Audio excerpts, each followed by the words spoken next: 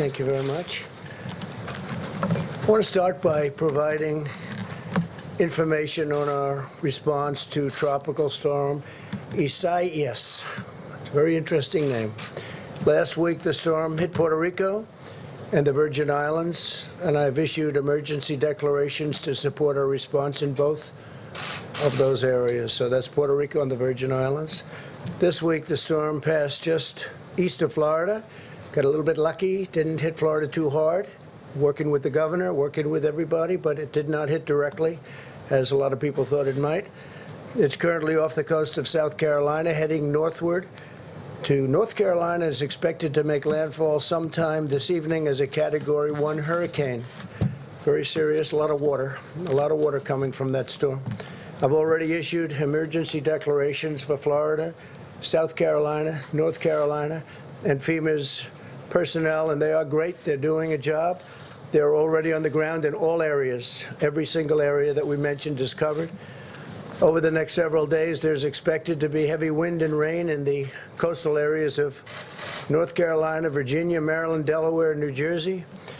We're working with uh, each of those states, and uh, in particular as it relates to FEMA, the military, law enforcement, all of the different groups that are involved. Storm surge and inland flooding are possible, and everyone needs to remain vigilant until it passes. I encourage everyone to follow the guidelines of the state and local authorities. We're working with them, and I think the guidelines have been very accurate so far, so stay safe.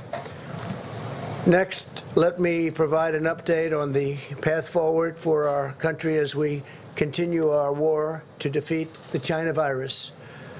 We're beginning to see evidence of significant progress. Nationwide, the number of positive cases has declined by nearly 6% from the week before, and the positive test rate has also dropped from 8.7 to 8% over that same period of time, an encouraging sign, very encouraging, I have to add, that the virus is receding. In hotspots across the South and West, we've seen slow improvements from their recent weekly peaks. Arizona's weekly case counts have dropped 37 percent. That's a tremendous drop, and the governor and the, the state have done a fantastic job. Down 37 percent. Texas down 18.7 percent. I was there a couple of days ago. And Florida, 21.2 percent drop. So that's a tremendous uh, job that they're all doing. As we begin to contain the virus in these states, we must focus on new flare-ups in the states where the case numbers have risen, including Georgia, Mississippi, Tennessee, Oklahoma, Missouri, and I think you'll find that they're soon going to be very much under control. Meanwhile, 18 states continue to have very low case numbers and low test positivity rates, under 5%. Alaska, Connecticut, Delaware, Illinois, Maine, Maryland, Massachusetts, Michigan, Montana, New Hampshire, New Jersey, New York, North Dakota, Oregon, Rhode Island, Vermont, West Virginia, and Wyoming. It's under five. Even in these states, however, where the virus is under control and at a very low number, Americans should continue to be vigilant, be careful, in order to prevent the new hotspots from opening up or any new hotspots from opening up in those states.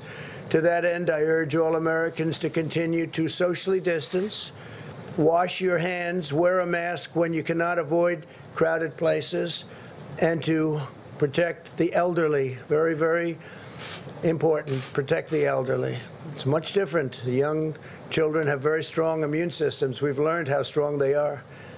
But protect the elderly. The average age of those who succumb to the virus is 78 years old. That's the average age. It's important for all Americans to recognize that a permanent lockdown is not a viable path toward uh, producing the result that you want, or certainly not a viable path forward, and would ultimately inflict more harm than it would prevent.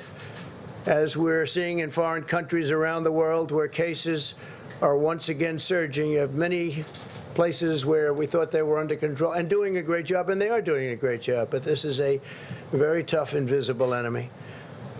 Lockdowns do not prevent infection in the future. They just don't. It comes back many times. Comes back. The purpose of a lockdown is to buy time to build capacity, especially as it respects to, with respect to hospitals, learn more about the disease and develop effective treatments as we did in the United States. We're doing very well with the vaccines and the therapeutics. Uh, countries where there have been very significant flare-ups over the last short period of time are Spain, Germany, France, Australia, Japan, and also, as you probably heard, in Hong Kong, they've had some very serious flare-ups. Japan has gone, yeah, a lot, a lot of uh, six-fold, six-fold flare-up. That's a lot but they'll get it under control. In our current phase, we must focus on protecting those at highest risk while allowing younger and healthier Americans to resume work and school with careful precautions. Ideally, we want to open those schools. We want to open them. At the same time, we're placing an emphasis on continuing to drive down the mortality rate with improved care, treatment, and medical interventions building a bridge to the introduction of a vaccine. The vaccines are coming along incredibly well. Today, I'd like to also provide an update on the actions of my administration and the work that we've done. We're taking, uh, really taking an increased interest, and we're seeing numbers that nobody can even believe in terms of percentage increase. It's telehealth for American patients. The the percentage increase is being worked on right now, but it's very, very significant numbers that you would not even think possible. This has been a priority from the beginning of my administration when we launched an initiative to allow veterans to connect remotely with their VA healthcare team, and it worked out really well. We have a 91% approval rating in the VA in terms of uh, the job we're doing. This is the first, it's the highest ever recorded. Now telehealth is a critical part of our path forward in the VA, and it's becoming a critical path, especially with our senior citizens. You don't have to go to the doctor's office. You don't have to go to hospitals.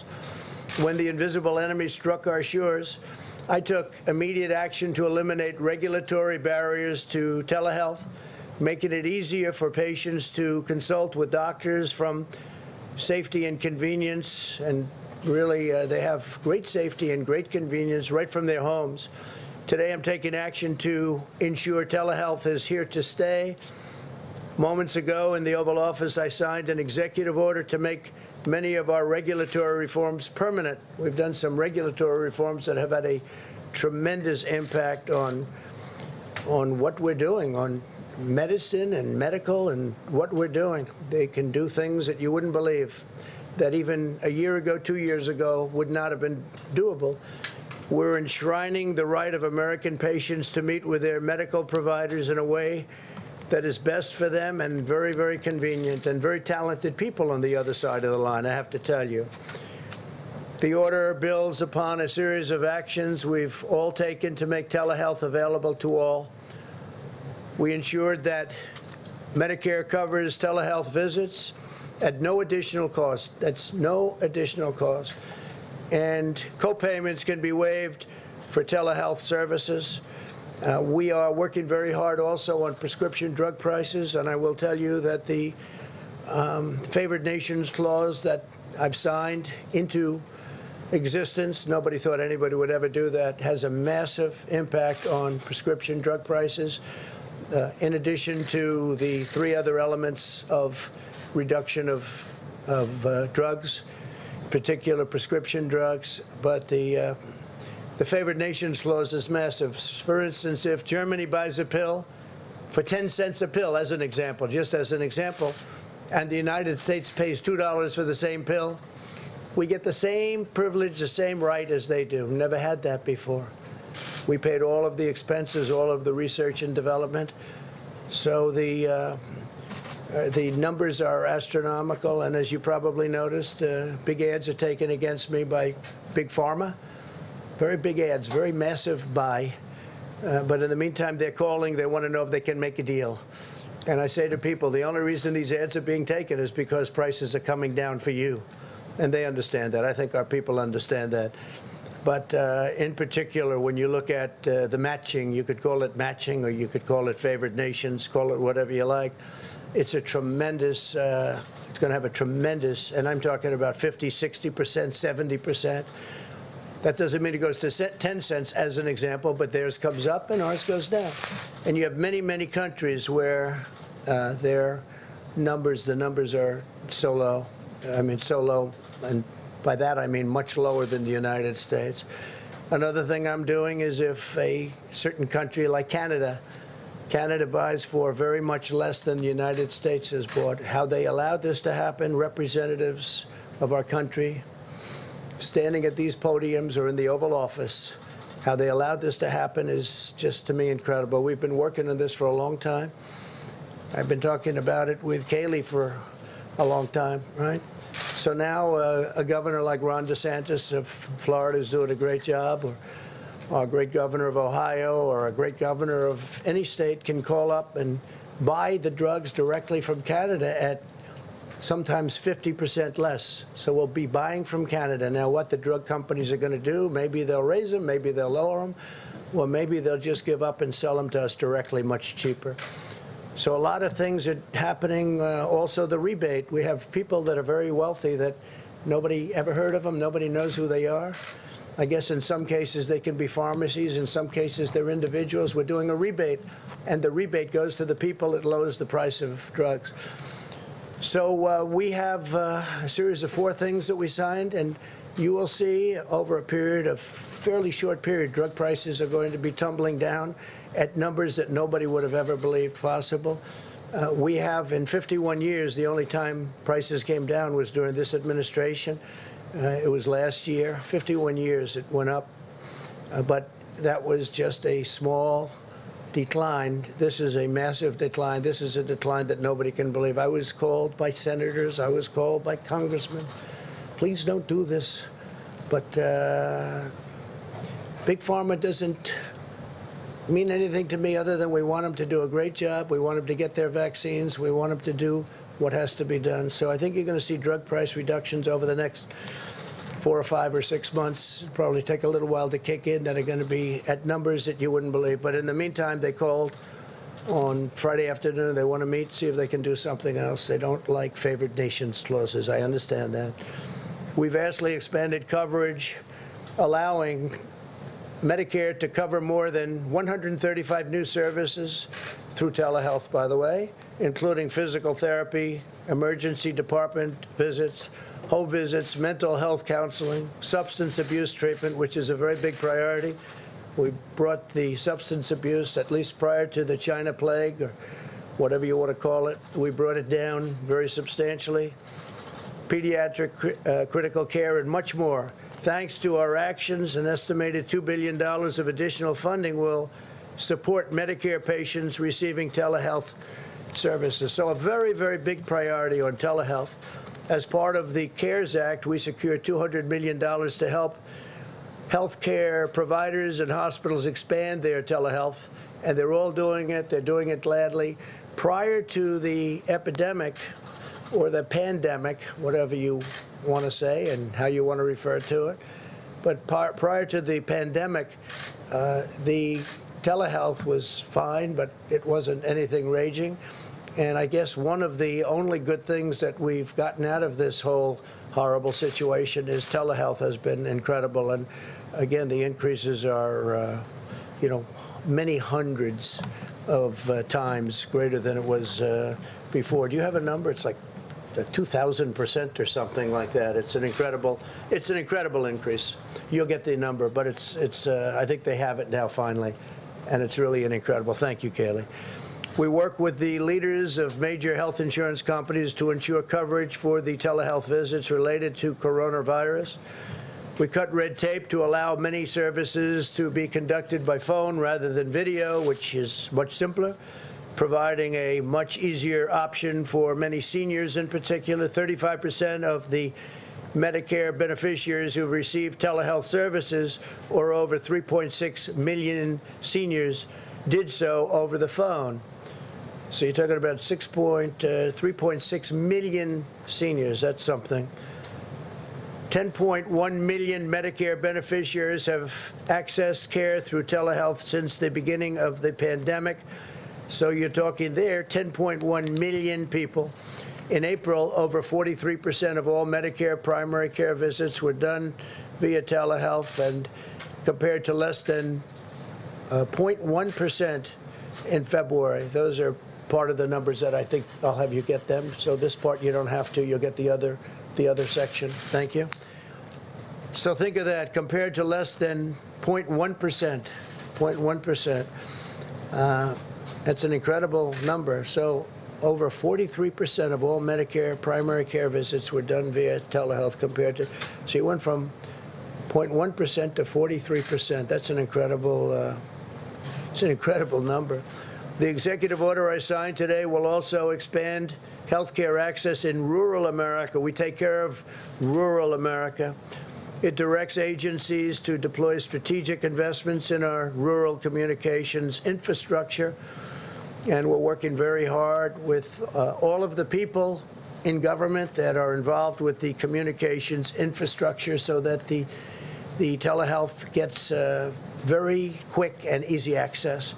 Additionally, revenue for rural providers varies significantly from month to month, making it difficult for many to stay in business. Many, many are having a very difficult time. To help fix this problem, my order will create a voluntary Medicare payment system that will give rural hospitals flexibility, really great flexibility, and a more consistent income stream to better serve their patients.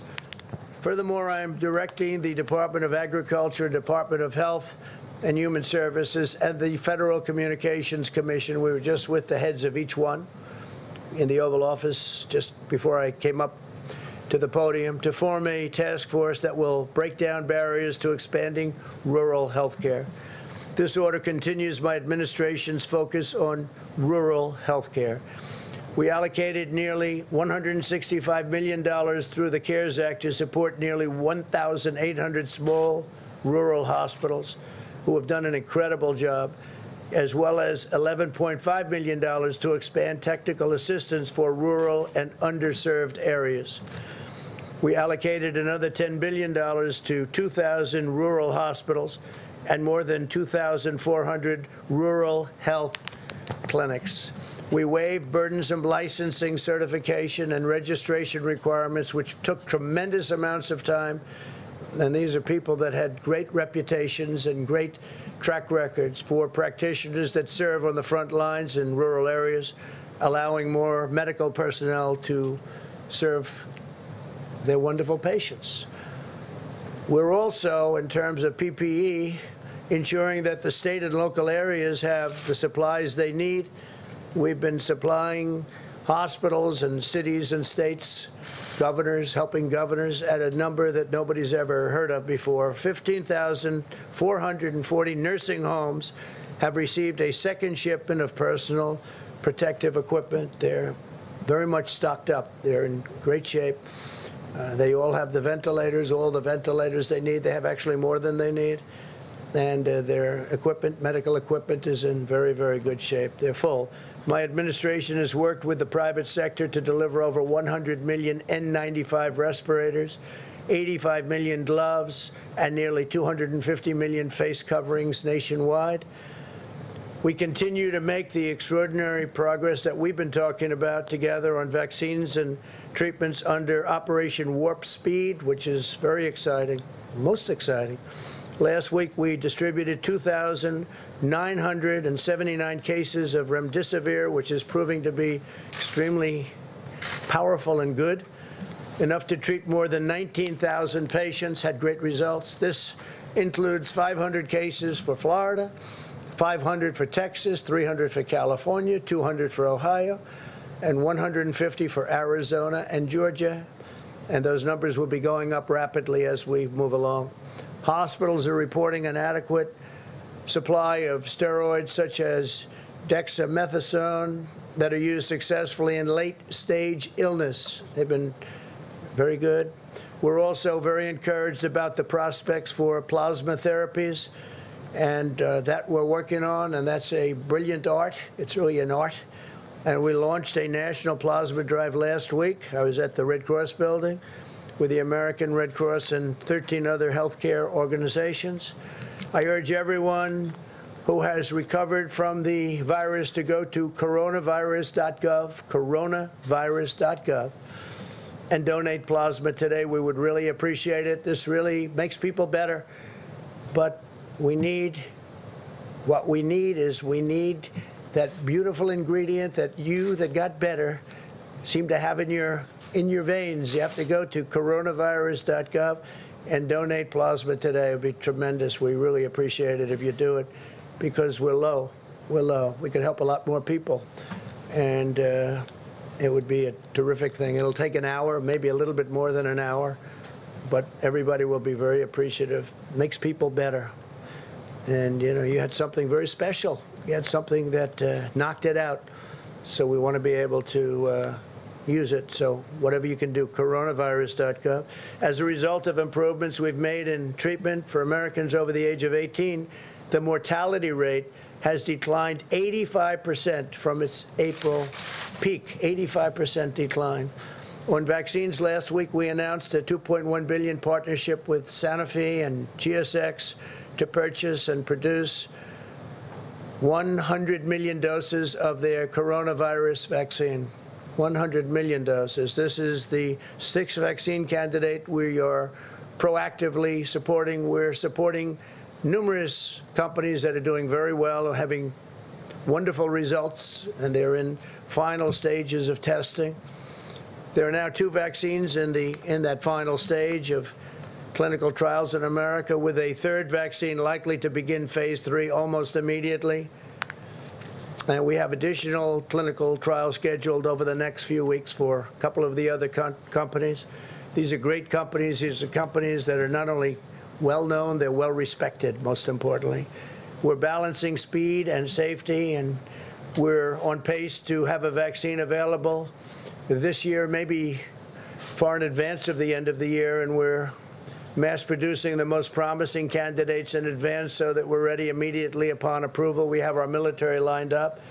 It's logistics. It's all about logistics. Uh, they deliver a lot of things, including soldiers.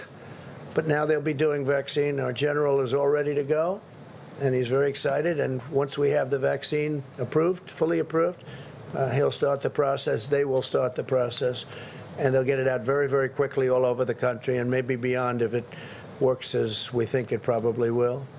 By unleashing America's technical and scientific brilliance, we will end this pandemic and we will hopefully end it very quickly.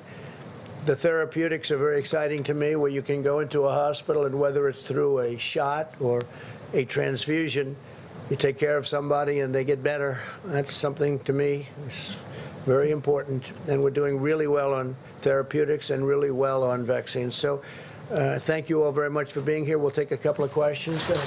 Thank you, Mr. President. Um, so if I ask your response to two items in the news and ask a COVID question.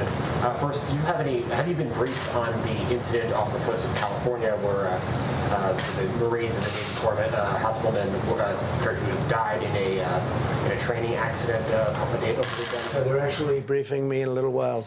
We, we have it scheduled for a little while from you hope to speak to the families? Oh, it's terrible. No, it's, it's terrible, and we'll be in contact with the families. Thing like that is terrible. Um, separately in New York today, uh, the, the city prosecutor uh, confirmed a criminal investigation into the Trump organization. Do you have any reaction uh, to that? Well, I just heard about, this is just a continuation of the witch hunt. It's Democrat stuff. They failed with Mueller. They failed with everything. They failed with Congress. They failed at every stage of the game. This has been going on for uh, three and a half, four years. Even before I got in, this was starting with uh, the Mueller deal.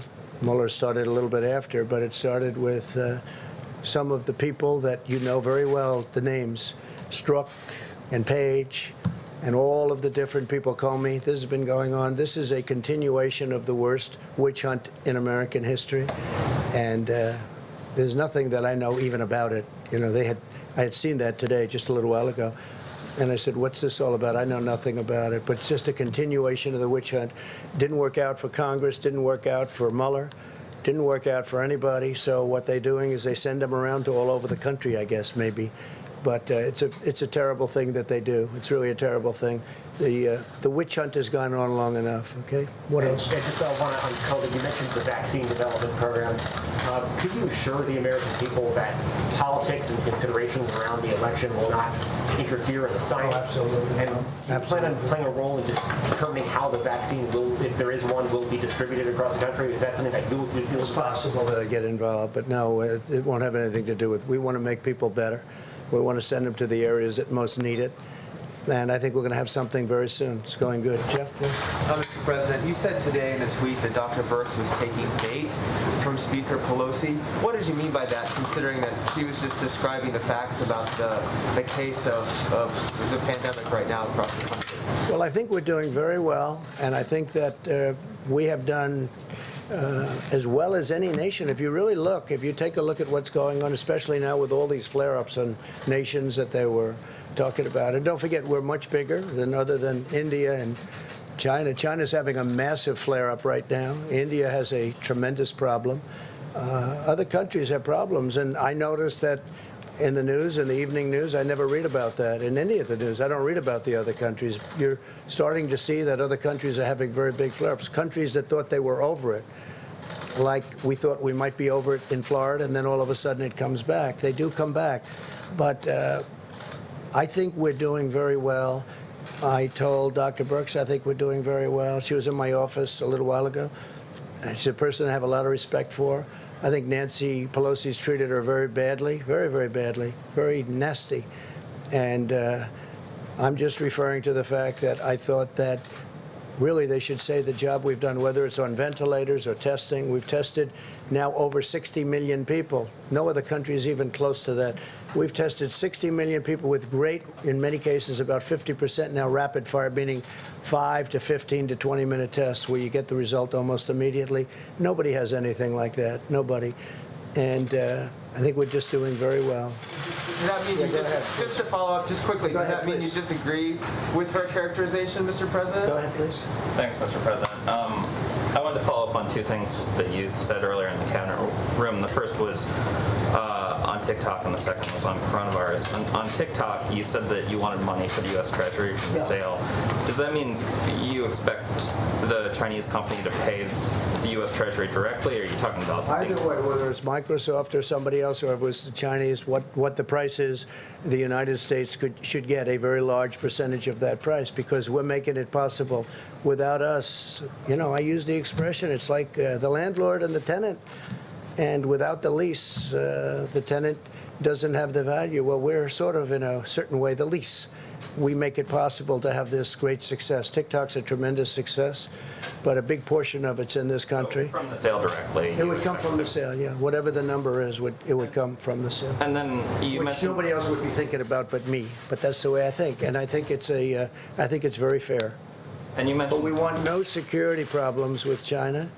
It's got to be an American company. It's got to be American security. It's got to be owned here. We don't want to have any problems with security, et cetera. And something could come out. I, I will tell you, there's a lot of excitement, not only by Microsoft, but by other companies in terms of buying it. So we'll see what happens. But we want, and we think we deserve to have a big percentage of that price coming to America, coming to the Treasury.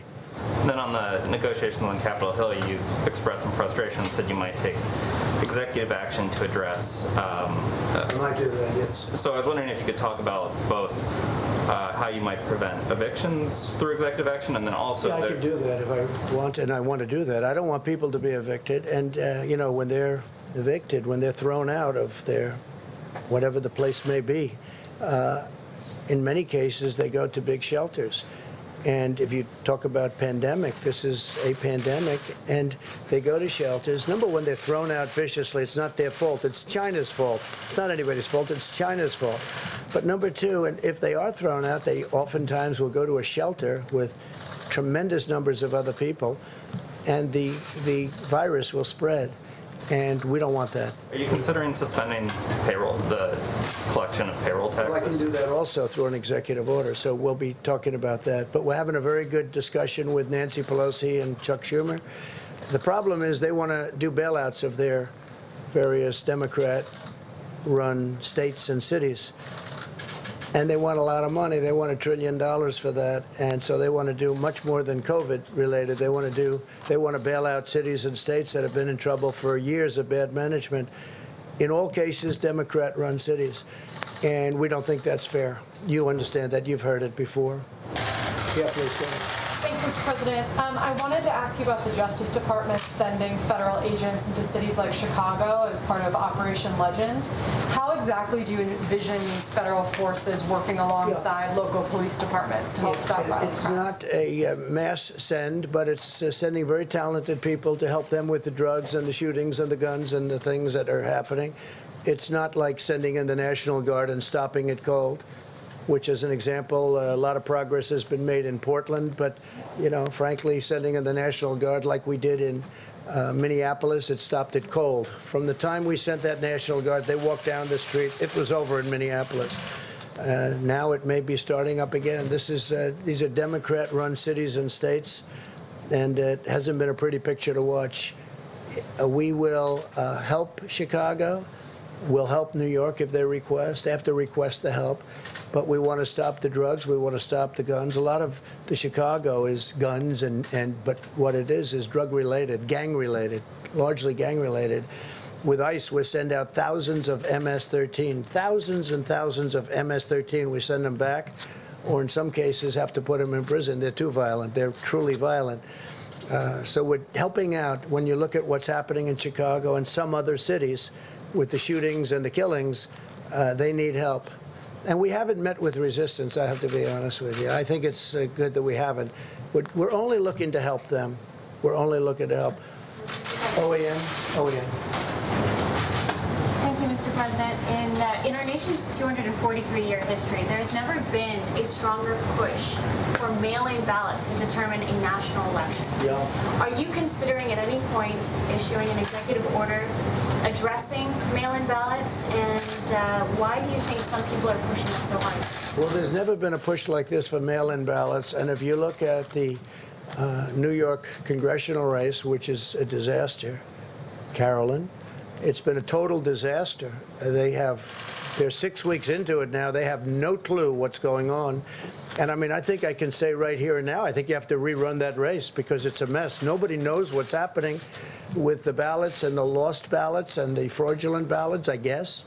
Uh, I think you probably have to take the Carolyn Maloney race and run it over again. How can you do this? And this is a small race with literally thousands of people, small thousands, and it's all messed up. You look at Paterson, New Jersey, it's all messed up. Almost every one of these, and these are small, easy to control. They should be able to do this easy. Now you're talking about like Nevada, where last two nights ago they, they went out and in the darkness of night without people, without having any meetings of the public, without having anything, they approved a ridiculous. You don't have to look at signatures. You don't have to approve anything. You can have double mailings.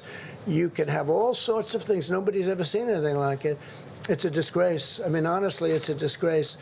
So it's a very good question. I mean, the uh, the mail-in ballots. If you look at just some of the small, the small places, the small races, a, con- a congressional race in New York, um, it should be very easy. Normally, that would have been announced at seven o'clock, and it would have been down to the wire, and everybody would have loved it. If it was if it was at all complex, it would have taken an extra 45 minutes or an hour. They would have announced it a little bit later. They have no clue. This was about six weeks ago, and they have no clue what's going on. They've lost ballots. There's fraudulent ballots. It's how are you going to do that for an entire nation? They're using COVID to try and get the mail-in ballots. Now, absentee ballots are great. Absentee ballots, they have to request them. They go through a process. They get them. But the universal mail-in ballots have turned out to be a disaster. And what Nevada has been doing, if you look over the last few days, you have to look at what they've done. You can have two ballots. You can harvest. It's harvesting. So you can take thousands of ballots, put them together, and just dump them down on somebody's desk after a certain period of time. Uh, they have something where if you vote, uh, the vote can count up to seven days later. Well, if the vote's going to count seven days later, that means you, you know, if if it depends on the one state like Nevada, that would mean simply that you can't have. Supposing it's down to that one state, it could be. It's a great state, but supposing it's down to that one state, that means you have to wait seven days. But they won't have it there. This is something that's so messed up. And by the way, I have to say, the post office for many, many years has been, you know, run in a fashion that hasn't been great. Great workers and everything, but they have old equipment, very old equipment.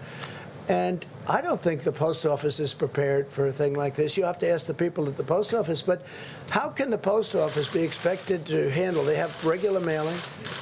And then now, on top of that, they have the internet where you have Amazon and these companies doing, you know, all the buying. Instead of going to a department store, they go buy through mail. So you have massive numbers of purchases now going through the post office, purchases of items and gifts. And that's a tremendous strain on the post office. The post office loses a fortune. It has been for many, many years, for decades.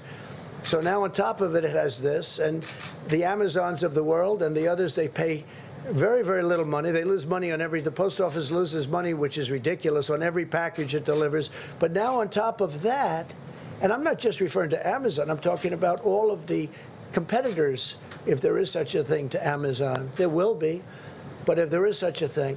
But now on top of that, you'll have somebody like the governor of Nevada come out with this massive plan out of nowhere to take millions of ballots and send them all over the place. You'll never know who won that state. It'll get messed up just like New York and just like Paterson, New Jersey, and just like many other places. In West Virginia, they indicted a, a postman for doing something very bad. You know that? And but there are many cases all over the country. If you look, you'll be able to find there's a list of them all over the country, and that has to do with universal mail-in. Again, absentee is great; it works. Like in Florida, they'll do absentee; it really works. But universal mail-in ballots is going to be a great embarrassment to our country. Is there an executive order on this? Well, I have the right to do it. We haven't gotten there yet, but we'll see what happens. We will be suing uh, in Nevada, and that's already been taken care of. We'll probably file something tomorrow. I do want to say that we're going to be introducing a tremendous health care plan sometime prior, hopefully prior to the end of the month. It's just about completed now. In addition, next month we'll be uh, doing the immigration plan. So we'll be doing that in September. We'll be doing sometime during this month the uh, health care plan.